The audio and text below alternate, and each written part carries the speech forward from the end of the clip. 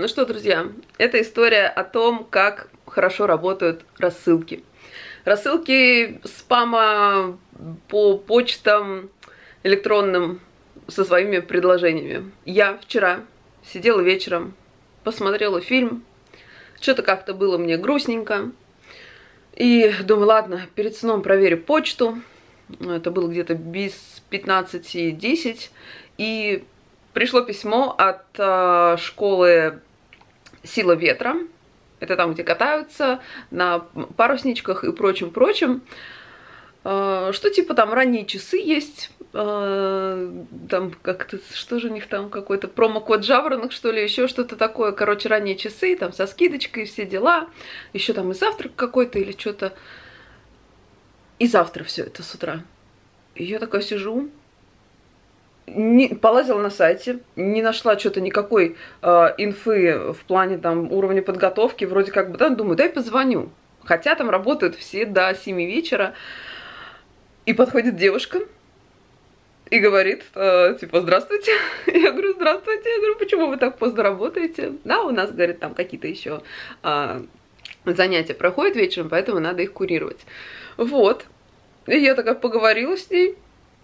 И, значит, э, я оплатила занятия. Вот. Встала с утра. Конечно, настроение у меня сразу поднялось, потому что я понимаю какой-то движ, и я на самом деле очень-очень давно хотела а, пойти вот в школу а, на вот... А, и парусник меня интересовал, думаю, надо вспомнить вообще детство, потому что люблю водичку и все, что с ней связано. И вот решила вам заснять процесс. Просто поснимаю парк а, Березки, который находится в Строгино или в Строгине простите, где и будет проходить все действие. Вот. Я даже не знаю, сколько по времени, ну, типа там, наверное, часик-полтора. Вот. Короче, решила, что это будет как вот мой день рождения. Да. Да. Ну, посмотрим. Встала я заранее, бодро, причем вчера хорошо удалось рано заснуть. И сейчас вот скоро уже буду вызывать такси, чтобы доехать до Старгино точно. Здесь вот уже никак не до Строгине, не до Строгина, или, а может быть, до Строгина. Господи, Строгино, что ты делаешь? Прекрати. Все, выползла из такси. Уже подхожу к березам и в такси поняла, что я хочу спать. Вот. Светленько, все хорошо. В березах не было сто лет. М, алые паруса на ладошечке. А погода, кстати, супер. Дождей вроде не обещали, хотя все очень облачно, но предвкушаю.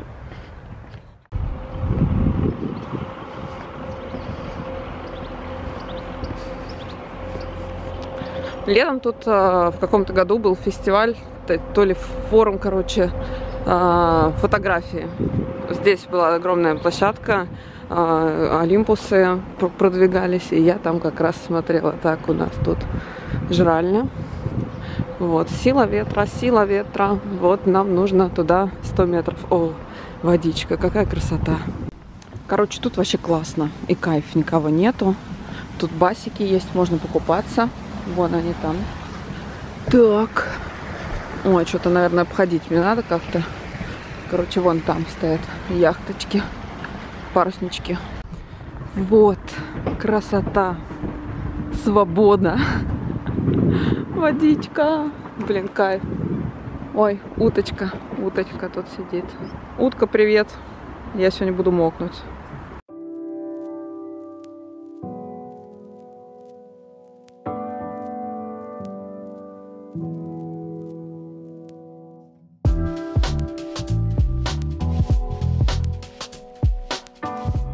Витя, это Витя, он сегодня будет меня катать, да, или что? Инструктировать, да. Инструктировать. Обучать, так сказать, парусному э, виду деятельности. Да, чуть погромче, потому что я боюсь, что тебя будет не слышно. А, что мы будем делать? Мы сегодня выйдем на вот такой одноместной яхте и научимся ходить под парусом самостоятельно. Долго? Ну, два часа. О, два часа. Я думала, такая, ну, на час-полтора, ну ладно, Не, класс. нет, два часа. Все по стандарту. Ты говоришь, я вся промокну. Я вот пришла и ничего не взяла с собой.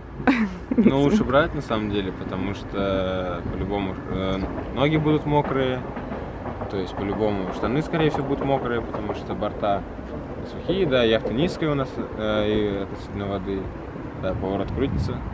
сразу борт становится мокрым. Класс, класс. Ну, скоро уже или не скоро? Скоро. Скоро. Да, просто кто-то рано приехал.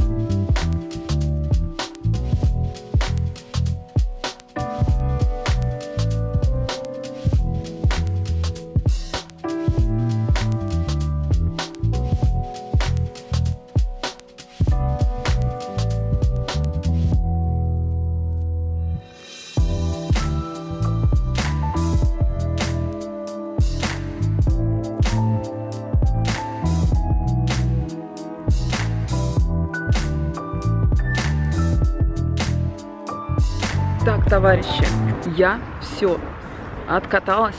И, блин, это было классно.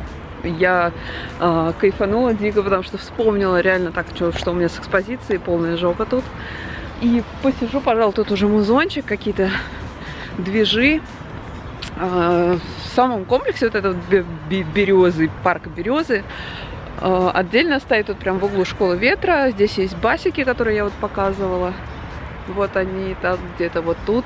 Но в основном какие-то корпоративные истории, уточки. Вот, что скажу. Под парусом классно ходить. Я в шлюпочном лагере ходила под парусом, это было клево.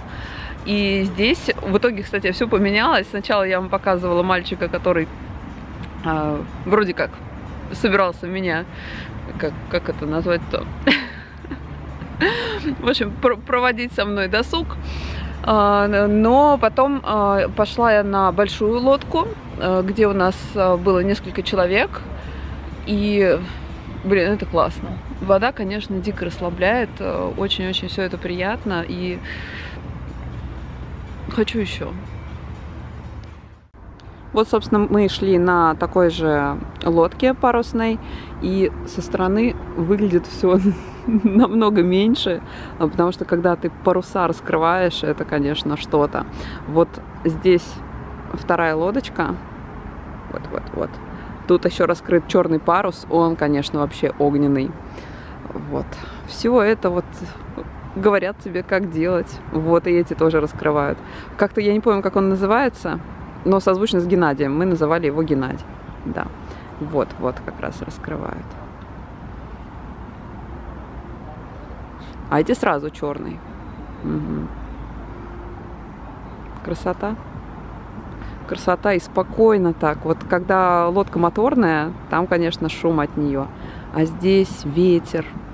И вот соединение прям с природой, конечно, кайф. В общем, мне надо в себя еще чуть-чуть прийти. Ну все, топаю на выход. А, хочется где-то позавтракать. Где, не знаю. Музыка. Тут, в принципе, можно, но что-то уже это, не знаю, хочется. Мне кажется, до конца тут еще никто не расчехлился. На самом деле народу никого нет. Погода вышла для этого отличная. А, чуть-чуть даже покапал дождик, но это не помешало. Ну и все. Давайте я на этом закончу. Я уже все рассказала, все клево. Я очень довольна. Устроила себе такой мини-день рождения. И пойду завтракать.